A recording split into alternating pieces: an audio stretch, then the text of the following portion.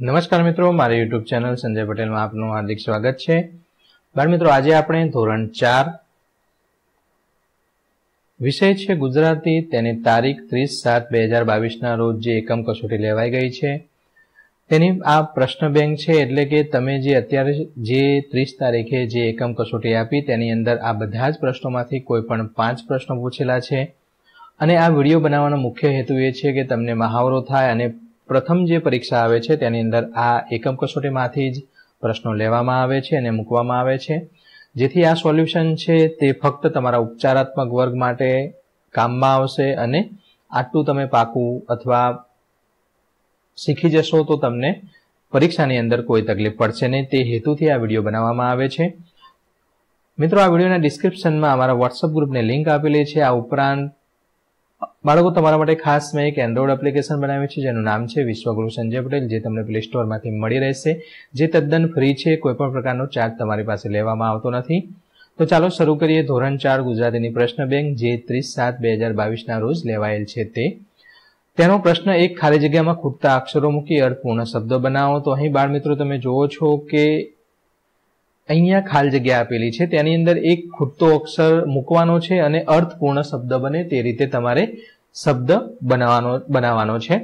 તો અહીં પહેલી ખાલી જગ્યામાં તી મૂકીએ તો અતિશય બનશે. તે જ રીતે બીજામાં બુસ્કોટ, ત્રીજામાં મહેરબાની, ચોથામાં ઉજળું, પાંચમામાં ગરણી, છઠ્ઠાની અંદર સુરત દાદા, સાતમાની અંદર ઉત્તરાયણ, આઠમાની અંદર કરચલી, નવમામાં પહેલવાન, દસમામાં ડરપોક, અગિયારમામાં ચકલી, બારમાની અંદર બળવાન, તેરમામાં તેરમાની અંદર અંબાલાલ આવશે. અહીં આંબાલાલ નથી, અંબાલાલ લખવાનું છે. ચૌદમામાં રૂપાળા, પંદરમામાં જામફળ, સોળમામાં શ્રીમાન, સાતમામાં તળાવ બનશે, અઢારમાની અંદર ખાબોચિયું બનશે.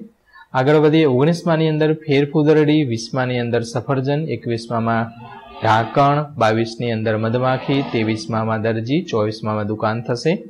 તે જ રીતે પ્રશ્ન બે છે. પ્રશ્ન બેની અંદર નીચે આપેલ શબ્દનો ઉપયોગ કરી વાક્ય બનાવો. અહીં ગયો ઉદાહરણની અંદર આપેલું છે, તેના પરથી વાક્ય બનાવીએ તો મોહન શાળાએથી આવીને રમવા ગયો. તો આ ગયો છે તે શબ્દ છે તે વાક્યની અંદર કોઈ પણ જગ્યાએ આવવું જોઈએ. તે રીતે આપણે વાક્ય બનાવવાનું છે.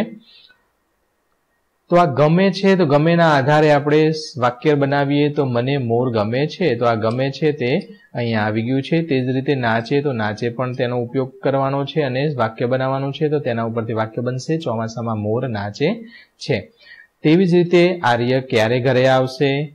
દાદા મંદિરે જાય છે, રાજુ કેરી પાડે છે, આ કોનું મકાન છે? મહેશ શાળાએ આવ્યો, મને ઠંડી લાગે છે. રમેશ, ક્યાં ગયો છે? આ જ રીતે દરેક તમે જોઈ શકો છો, દરેક શબ્દો આવે તે રીતે આપણે વાક્યો બનાવ્યા છે. આગળ વધીએ. દસમાની અંદર ડોક્ટરે રોટલી ખાવાનું કીધું. અગિયારમામાં મને કોણ ફરવા લઈ જશે? બારમામાં હાથીને ખૂબ ભૂખ લાગી હતી. તેરમાની અંદર મને કેરી ખાવાનું મન થાય છે. ચૌદમામાં પાણીમાં રમવાની મજા પડે છે. પંદરમાં તે જોઈને અમે ખૂબ હસ્યા. સોળમું તું કાલે ક્યાં ગઈ હતી? સત્તરમું મેં સફેદ સફેદ કબૂતર જોયું. અઢારમાની અંદર તેણે બહુ લાડવા ખાધા. ઓગણીસમાની અંદર મોહન ઝાડ પર ચડ્યો. વીસમાની અંદર વાંદરાએ સિંહને ખબર આપી. એકવીસમાની અંદર તમે ક્યારે રમવા જાઓ છો? બાવીસની અંદર મેં વાર્તાની ચોપડી વાંચી. ત્રેવીસમાં ચપટી, તો મને ચપટી વગાડતા આવડી ગઈ. ચોવીસમાં આકાર, તો આર્યને ગોળ ટોપી ગમે છે. તો અહીં ગોળ આકારની ટોપી ગમે છે એવો શબ્દ અહીંયા વાપરવાનો છે. પચીસમું વાર્તા તો મને વાર્તા વાંચવી ગમે છે, તો આ રીતે તમારે બનાવવાના છે. મિત્રો, આ વિશ્વગુરુ સંજય પટેલ, આ રીતે તમે તમારા મોબાઈલના પ્લે સ્ટોરમાં સર્ચ કરી અમારી એપ્લિકેશન ડાઉનલોડ કરી શકશો. હવે અધૂરું વાક્ય પૂર્ણ કરવાનું છે. પહેલું છે, મને પોલીસની નોકરી મળે તો. તો હું શું કરું? તો હું બધા ગુનેગારે પકડી અને જેલમાં પૂરી દઉં. મારી પાસે વિમાન હોય તો મારા દાદાને ઘરે વિમાન લઈને જાઉં અથવા તમે તમારી રીતે જાતે લખી શકો. તમારી પાસે વિમાન હોય તો તમે શું કરો?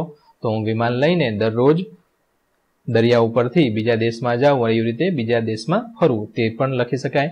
કૂતરાને લઈને ફરવા જવાનું થાય તો હું તેને બગીચામાં ફરવા લઈ જાઉં. મામાના સાથે ફરવા જવાનું થાય તો અમે જુનાગઢ જઈએ. તે જ રીતે પાંચમું રોજ જમવામાં શ્રીખંડ હોય તો મજા આવી જાય. છઠ્ઠું હું મારા ખોટા કોઈ મારા ખોટા વખાણ કરે તો તો હું તેને વખાણ કરવાની ના પાડીશ. ચાલતા ચાલતા ચંપલ તૂટી જાય તો હું પિન લગાવી સાંધી દઈશ. ઘોડો મારો મિત્ર હોય તો હું તેને દરરોજ શાળાએ લઈ જાઉં અથવા હું તેના ઉપર દરરોજ સવારી કરી અને ફરવા જાઉં એવું પણ લખી શકું. પ્રિય વસ્તુ ખરીદવા મળે તો હું રિમોટવાળી ગાડી ખરીદું. દસમાની અંદર રમતમાં ઝઘડો થઈ જાય તો સમાધાન કરી ફરી રમવા માંડીએ. અગિયારમું રિસાયલ મમ્મીને મનાવવાની હોય તો હું તેને ગમતું ગીત ગાઈશ. રાત્રે, આજે રાત પડે જ નહીં તો રમવાની મજા આવી જાય. તેરમું ઘોડા પર બેસી સફર કરવાની હોય તો હું શાળાએ ઘોડા પર બેસીને જાઉં. જો હું શિક્ષક હોઉં તો બધાને સારું ભણાવું. પંદરમું બહેનને ભેટ આપવી હોય તો સરસ મજાની ઢીંગલી આપું. સોળમું અચાનક વાંદરો સામે આવી જાય તો તેને કંઈક ખાવાનું આપી ભગાડી દઉં. સત્તરમું મમ્મી બીમાર હોય તો હું ઘરના બધા કામ કરીશ. જો એક ભજન ગાવાનું હોય તો તો તેની અંદર હું વૈષ્ણવ ભજન તો તેને કહીએ તે ભજન ગાઈશ. ઓગણીસમું સ્વિમિંગ પુલમાં નાહવા જવાનું હોય તો તો મને તો ખૂબ જ મજા આવી જાય. વીસમું મારી પાસે જાદુઈ રૂમાલ હોય તો હું તેનાથી બધાને જાદુ બતાવું. એકવીસમું ચાંદો જો ધરતી પર આવે તો તેની શીતળતા લઈ લઈશું. બાવીસમું હોસ્ટેલમાં રહેવા જવાનું થાય તો મને જરાય ન ગમે. મને શાળામાં માળી બનવા મળે તો હું બધા છોડનું બરાબર ધ્યાન આપું અથવા તો બગીચાની અંદર જેટલા બી ઝાડ છે તેને પાણી દરરોજ પાવું. ચોવીસમું ડબ્બો ભરીને ચોકલેટ હોય તો હું બધા મિત્રોને આપું અથવા તમે તમારી રીતે પણ વાક્ય પૂર્ણ કરી શકો. ડબ્બો ભરીને ચોકલેટ હોય તો દરરોજ હું એક ખાઉં અથવા બધી જ ખાઈ જાઉં. માર જેવો હોય તો બધી ખાઈ જાય.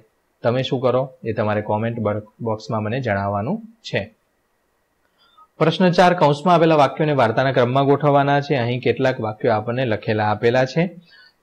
તો અહીં બીજાની અંદર ત્યારે તેના શરીર પર એક ઉંદર ઉપર નીચે ચાલવા લાગ્યો. એટલે કે સિંહ જંગલમાં સૂતો હતો. ત્યારબાદ આ જે વાક્ય છે તે તમારે અહીં લખી દેવાનું છે. આ બીજું વાક્ય છે, સિંહને ખલેલ પડી, ત્યારબાદ સિંહ ગુસ્સો થઈ ગયો. તો એ જે ખૂબ ગુસ્સો થઈ ગયો એ વાક્ય આ છે તે તમારે અહીં લખી દેવાનું છે. ટૂંકમાં ખૂટતા વાક્ય છે તે તમારે લખવાના છે અને આખો વાર્તા છે એ ક્રમમાં બને તે રીતે કરવાનું છે. છઠ્ઠાની અંદર તમે મને છોડી દો જે અહીં આપેલું છે તે તમારે લખવાનું છે. નવમાની અંદર શિકારીઓએ સિંહને પકડી જાળમાં બાંધી દીધો.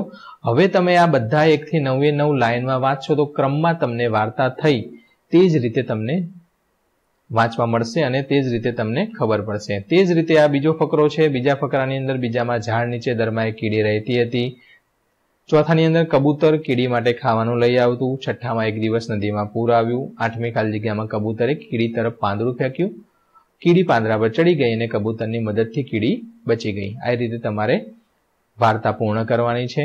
ત્રીજાની અંદર તેના પર એક વાંદરો રહેતો હતો. ચોથું ઝાડ નીચે નદીમાં મગર પોતાના પરિવાર સાથે રહેતો હતો. છઠ્ઠું જાંબુ ખાતા ખાતા થોડા જાંબુ વાંદરાના હાથમાંથી નીચે પડી ગયા. મગરે તે ચાખ્યા. મજા આવી ગઈ અને વાંદરા અને મગરની ભાઈબંધી થઈ ગઈ. ત્યારબાદ એકવાર જાંબુ છે તે લઈને ગયો તો મગરી જાંબુ ખાઈ ગઈ.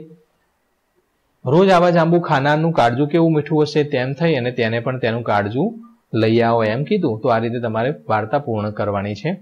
પાંચમું છે, કોઈ પણ વિષય વિશે પાંચ વાક્યો લખવાના છે, અહીં પાંચ વિષય આપે છે, તેમાંથી આપણે મારી પ્રિય ઋતુ ચોમાસું વિશે લખવાના છીએ. તમે સુરત દાદા વિશે પણ લખી શકો, સુરત દાદા વિશે લખવું હોય તો સુરત પૂર્વમાં ઉગે છે. સુરત દાદા અમને ગરમી આપે છે. સવારે શિયાળાનો સવારનો તડકો છે, તે ખૂબ જ કુમળો તડકો. તેમાં વિટામિન ડી મળે અને બહુ બધી મજા આવે અને એવું બધું. તમે સુરત દાદા વિશે લખી શકો દાંત વિશે લખવું હોય તો દાંત વિશે તમે લખી શકો. સૌપ્રથમ નાના હોય ત્યારે શરૂઆતના આગળના દાંત આવે, ત્યારબાદ બધા દાંત આવે, ત્યારબાદ અમે ચાય ખાઈ શકીએ છીએ, ચાવી શકીએ છીએ એવું લખવાનું છે. આપણે અત્યારે મારી પ્રિય ઋતુ ચોમાસું વિશે જોઈએ તો ચોમાસામાં વરસાદ આવે છે. ચોમાસામાં નદી અને તળાવ ભરાઈ જાય છે. ચોમાસામાં વરસાદ આવે ત્યારે નહાવાની ખૂબ જ મજા આવે છે. ચોમાસામાં ખેતર લીલાછમ થઈ જાય છે. ચોમાસામાં અમે નવા વૃક્ષો અને છોડ વાવીએ છીએ. ચોમાસું મને ખૂબ જ ગમે છે. આ ઉપરાંત તમે લખી શકો કે ચોમાસાની અંદર વરસાદ પડે ત્યારે જે વરસાદનું પાણી વહી જાય, વહી જતું હોય, તેની અંદર અમે હોળી અથવા નાવડી બનાવી તેમાં તરતી મૂકીએ છીએ અને એ બધી રમતો રમીએ છીએ અને વરસાદની અંદર ખાબોચિયામાં તોફાન મસ્તી એવું બધું તમે લખી શકો. તો બાળકો, અહીં ધોરણ ચાર ગુજરાતીનું જે ત્રીસ તારીખના રોજ એકમ કસોટી લેવાઈ હતી તે આપણે પૂર્ણ કરીએ છીએ. ફરી મળીશું આગળના વિડીયોમાં. ત્યાં સુધી આવજો. વીડિયો સુધી જોવા બદલ આપનો ખૂબ ખૂબ આભાર.